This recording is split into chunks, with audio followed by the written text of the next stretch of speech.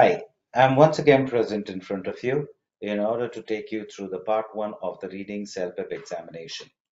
So as we're going to begin with that, just give me uh, some time to give you the introduction of the reading communicative skills, which is for four parts, which also has a practice activity with one question to attend. In the reading test, the time duration that you're going to spend is for 55 minutes to 60 minutes, where your reading skills is being tested and you will be answering one part at the time.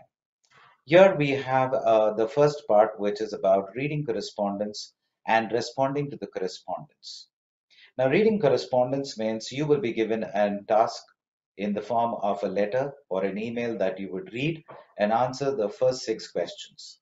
Then after that, you will be asked some questions in regards to the other remaining five questions because this task is for 11 minutes and 11 questions to answer. So in this criteria, the response that you're given going to give will be in the form of an email that you're responding to the correspondence that you've already read. Here the scores will be evaluated as per the CELPIP levels. So you are going to get 38 score marks for all the four parts put together. If you're able to score 34 and above, you are on the topmost scores between 10 to 12 and you will be able to secure an easy seat for visa approvals.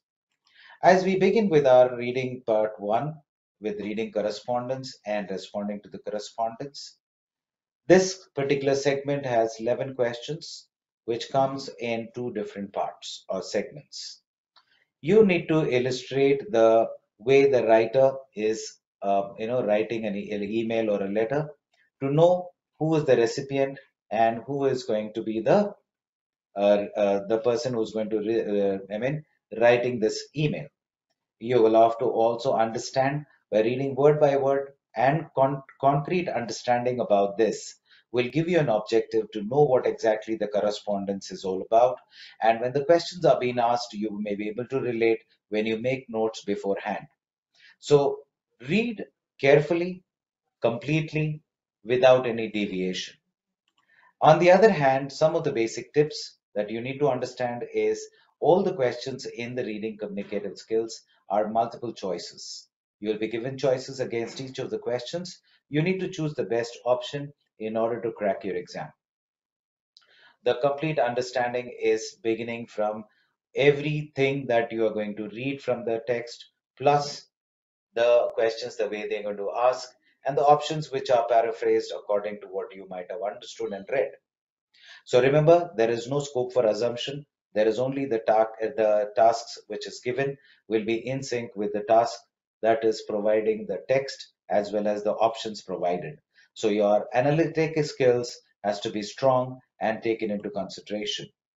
Some of the basic tips that you need to understand is being an English test, you need to be pay, paying attention to various kinds of texts, whether you read a newspaper or magazines or on online articles, so on and so forth, when it is related to any and every kind of tasks. The exact information which needs to be understood is from the uh, correspondence that makes an understanding on the whole. So please make sure you will make a good objective of learning them from the beginning. So reading the text and after that reading strategies by skimming and scanning, you will be able to go through each and every word written by the uh, by in this task that needs an attention. Remember, you can reread it once again depending upon how quick reader you can become and how well you are able to connect them, especially with the stress levels of the words and the vocabularies, the way they are using in the text, for your reading tips to be understood and made clear. And while we are making it happen, we need to also understand that it is the words sometimes challenge us and the words uh, will make an understanding, making it very clear. So whenever you're reading any passage, please remember the variety of words that comes across with variety of information that needs to be connected when the questions are being asked. So reading the text adds value in active listening and reading passive and active passive reading combinations.